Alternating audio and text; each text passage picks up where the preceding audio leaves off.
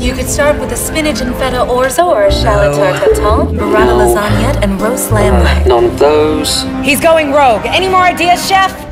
Hello there! What's up, Mama? Uh, nothing. Heaven is up. That's what's up. I like your collar. Oh, thank you. It's actually the heavy-duty extension cord from our vacuum cleaner. Very cool. May I ask you a question? Sure, Mama. Um, have you accepted Jesus Christ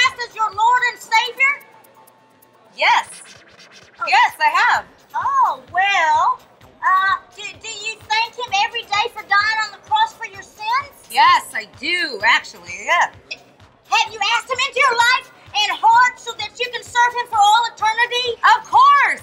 Look, without God, there's nothing. With Him, there's everything. So, you guys want to play? fucking kidding me, Max? Babe, you know I am not against you. I am for you. All the way. But it's shit like this that tells me two things. Hey, A number one, you are way too immature to be turning 30 on Friday. B number two, how can I even trust you when you're just flat out lying? Lying?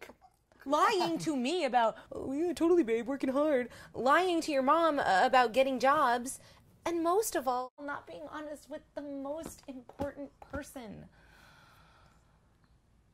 You? you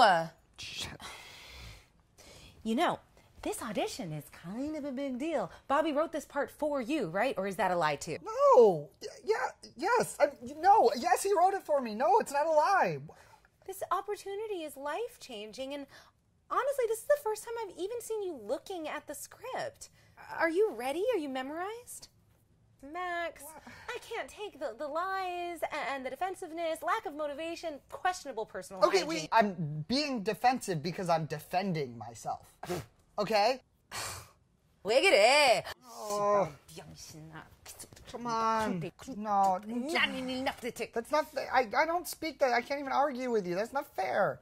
I have been meaning to stay with my sister. All this, the audition, and us, is yours to fuck up.